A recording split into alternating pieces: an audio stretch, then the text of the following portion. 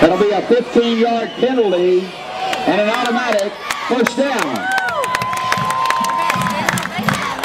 And that's a Nissan of Murfreesboro automatic first down.